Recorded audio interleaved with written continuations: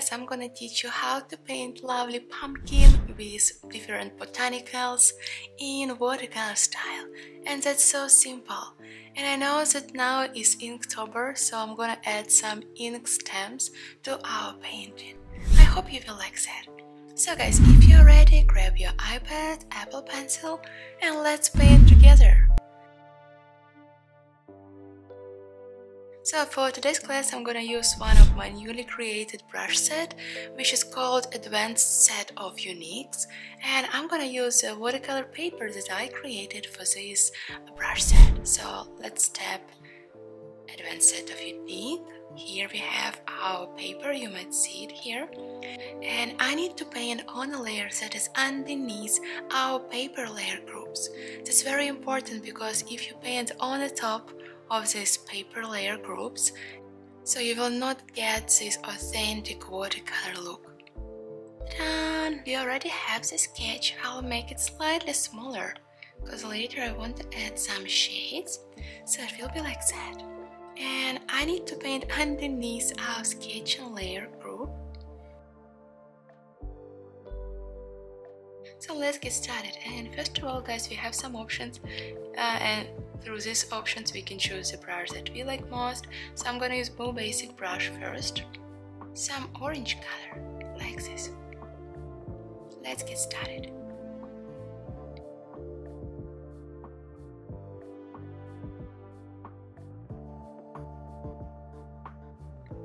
I like this edgy texture, that's why I use this brush, but we're gonna mix it with another brushes. So I will lower the opacity of our sketching layer even more.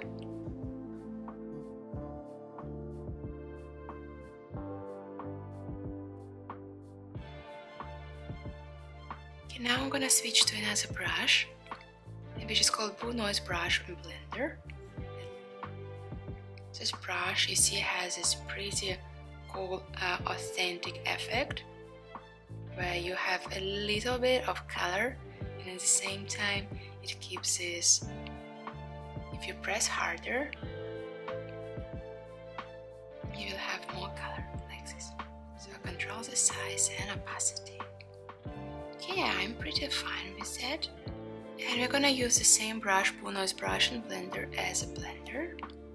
Because now I control the size of the brush. Because now I want to remove the edges. This set is pretty artistic, so it doesn't have the basic brushes. Uh, this is for mostly those people who is pretty confident using watercolor and who likes to add some artistic feeling to their painting. It can help you to get this authentic and like artistic touch to your watercolor. Okay, like this, we've done with the first pumpkin. Now let's move to second one, that one. And this pumpkin is slightly pale. I'm gonna use same brush.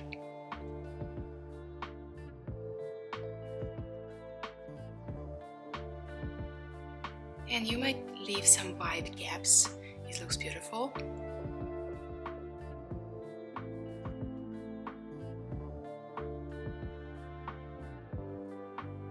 Okay, done with second pumpkin. Now you see we have like the tip of pumpkin. Uh, it's some kind of root, if I'm not mistaken. So I will go even to darker shade and I will create one more layer because probably later I want to change the color.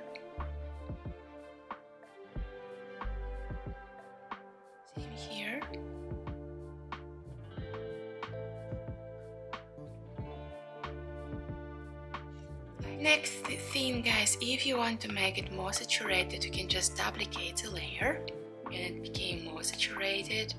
Same as this painting, I like how it looks, so I'm gonna merge together two layers. And I will create one more layer underneath and I will grab reddish color and I will grab a basic brush. Once again I leave some gaps for another brush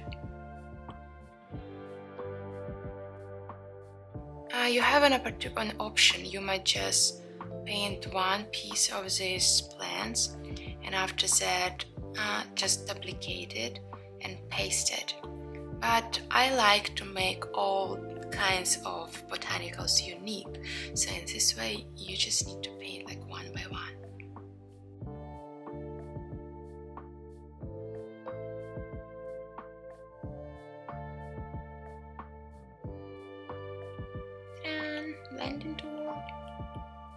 Control the size and be careful. Don't lose its watercolor texture. So now let's keep painting and now I think it's time to add some colors to this part of botanicals. I'm gonna stay on same level, same layer, same brush and here we have also this kind of dark orange color and I want to show shade here and in this area. And here we have some part of haze. Okay, let's keep painting and I'm gonna grab a basic brush and I will grab green color. So I want to paint leaves first.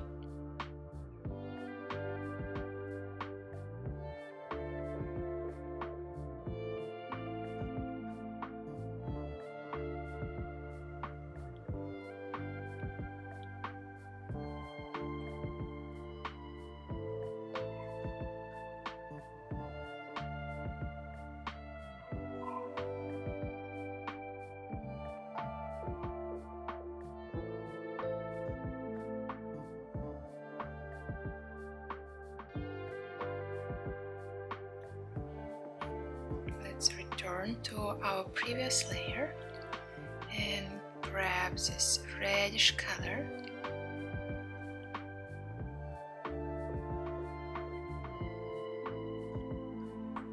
And next thing what we will do we will just remove the transparency.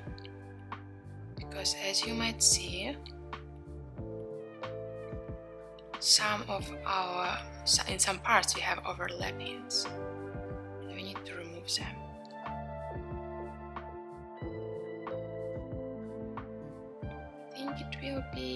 slightly bluish You have some kind of flowers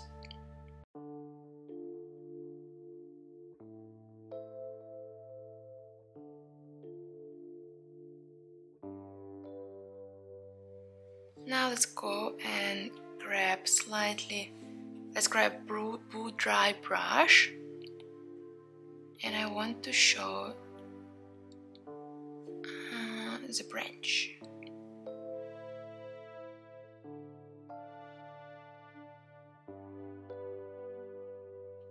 Blue sharp scrub and I'm gonna go and add some hay. draw the size.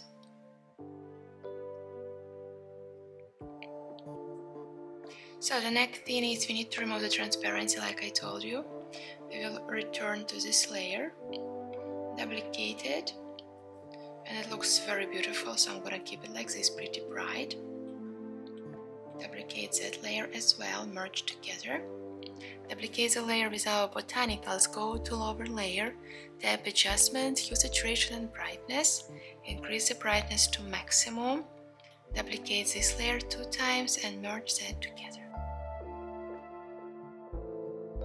Okay, it looks beautiful. Now we want to add some shades and it's pretty simple. So how to do it? I'm gonna create one more layer on the top of everything and I'll grab Blue Sharp Scrub and after that I will move to multiply blend layer mode. It's very important. And now let's start adding some kind of shades.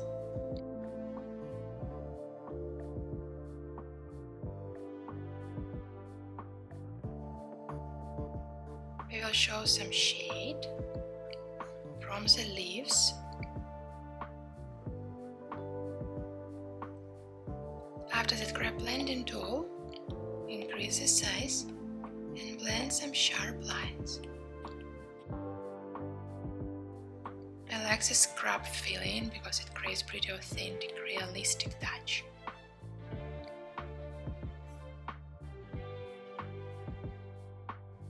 like that. Now let's do same with this pumpkin. Now let's add shades to this pumpkin as well.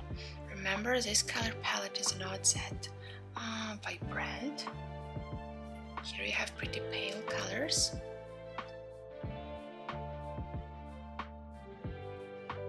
You might add a use selection tool and after use hue saturation and brightness, but actually I'm a big fan to like of paint in traditional style. So my aim here is to try to reach this authentic watercolor look. That's why I'm trying to use the same method that if I if I paint in traditional way, I would use like the same options. That's why once again this is my option how to paint those lovely uh, pumpkins. Now let's move to this part and for this layer I will go and create one more layer on the top, move to multiply and clip it. That means that I can paint just on our selected area and I can't go beyond the lines you see here. So I just want to add some colors to edges. Do same here. And I just want to add some kind of shades.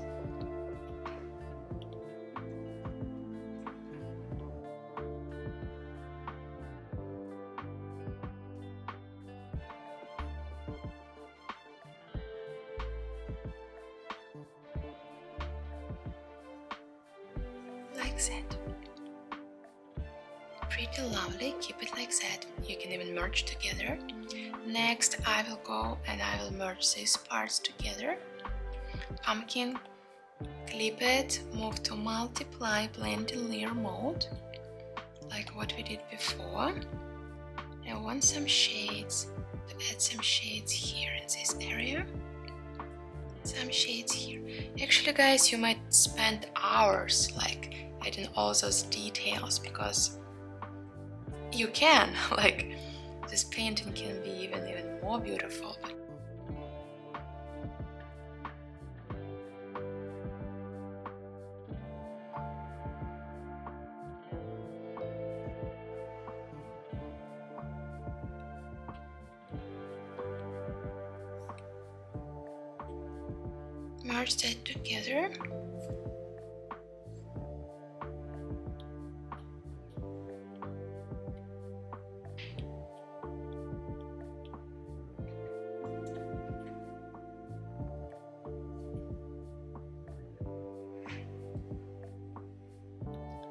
want to lower the opacity of our sketching layer even more like this because I think it looks wonderful.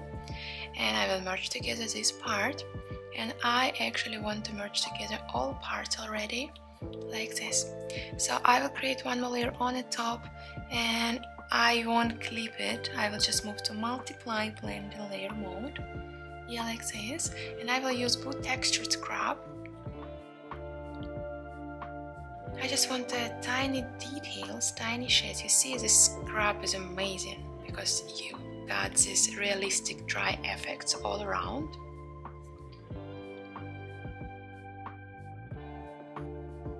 You might get it here and here and I tend to go beyond the lines a little bit.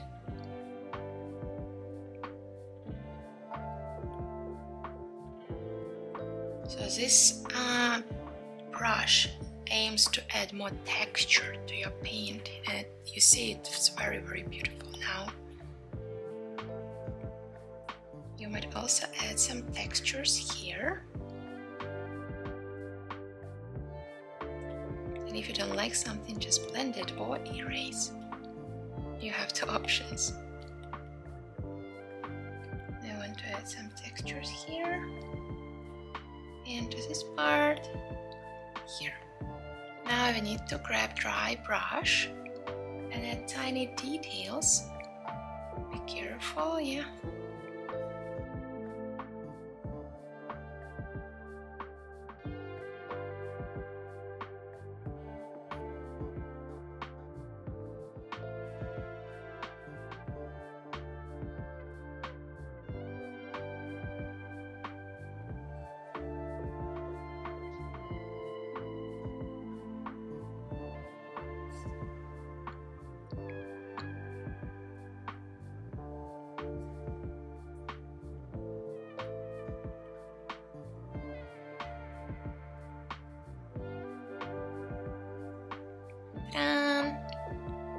Little bit of details here in this area.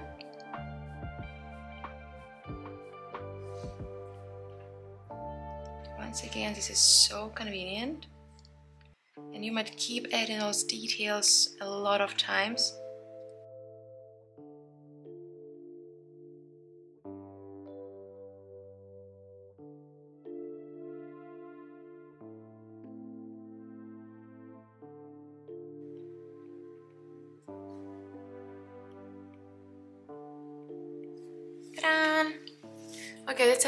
Pumpkin and it's almost done guys. The final touch is we need to add some shades and I'm gonna use my uh, inking stamps.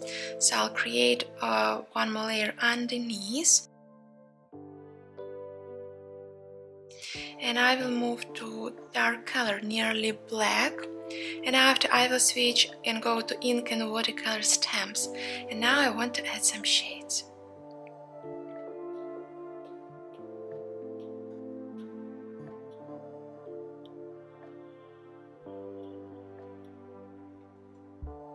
Okay, I'm gonna add some stamps like here. And as you see, some parts we have, in some areas we have overlappings. So you need to be very careful and just remove the overlappings. Three fingers down and cut. This is the first option what we might do. We'll create one more layer. And let's think about this background. Yeah, we might have the stamp like that and create one more and that can be our illustration, our ink illustration.